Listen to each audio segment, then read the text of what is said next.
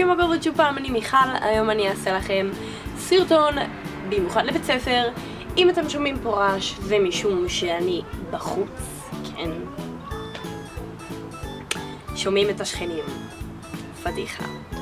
בעצם הסרטון הזה יעזור לכם איך לקבל 100 במבחן, איך להתכונן למבחן, איך יהיה לכם פשוט ציונים יותר טובים. אז בואו נתחיל. דבר ראשון שאני ממליצה לכם לעשות זה להתעלם מכל מכשיר טכנולוגי שיש לכם. בעצם אם זה טלוויזיה, מחשב, פלאפון, מהכל. ועוד משהו שמאוד חשוב לדעת זה שכדאי ללמוד את החומר לפחות ארבעה ימים לפני כדי שתשננו אותו יותר טוב וזה בעצם לא טוב להעמיס את החומר ביום אחד. ועוד טיפ קטן זה אם אתם לא יודעים שאם אתם לומדים את החומר בעשר דקות האחרונות שלפני המבחן, אז זה יגרום לכם בעצם לזכור רק את החומר שלמדתם באותם עשר דקות, אז לא כדאי לכם לעשות את זה. אל תבדקו את החומר לפני כי זה פשוט יגר...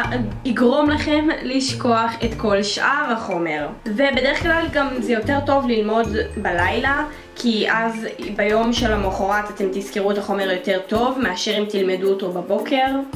ורצוי גם שכשאתם לומדים אז תשבו במקום נוח, אם זה על מיטה או שולחן עם כיסא וגם חשוב שיהיה לכם אור כדי שתוכלו לראות הכל ולא בחושך כי זה לא בריא, לעיניים במיוחד.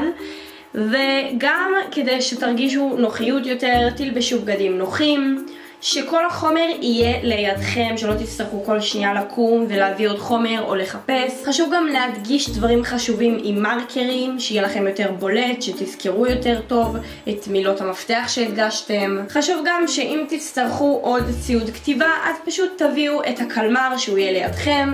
ואני חושבת שכדאי לכתוב בעיפרון כדי שתוכלו למחוק, כי עם עט זה פשוט נראה יותר...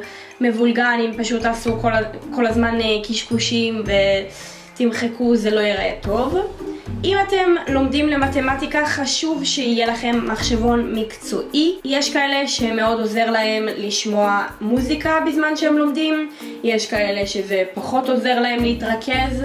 אז איך שנוח לכם זה סבבה. בדרך כלל אומרים שבלי מוזיקה זה יותר טוב לזכור. וחשוב גם לעשות הפסקה מדי פעם כדי לרענן את המוח וכדי שלא תהיו עייפים ושלא יכאב לכם הראש. ובין לבין ההפסקות תעשו גם איזה הפסקת נשנוש או שבעצם אה, תעשו משהו שיסיח את דעתכם מהמבחן. פעם ב-45 דקות ככה תעשו הפסקה. אבל אל תלכו לטלוויזיה כי מחקר אומר שזה סתם יהרוס לכם את מה שלמדתם כי טלוויזיה בעצם מצמצמת את כל, ה... את כל השכל שלנו, כן. מקווה שהסרטון עזר לכם ושהמבחן הבא שתקבלו יהיה 100, כמובן לא פחות ולא יותר, אולי יותר, נראה כבר. אז שיהיה לכם יום נפלא, ביי!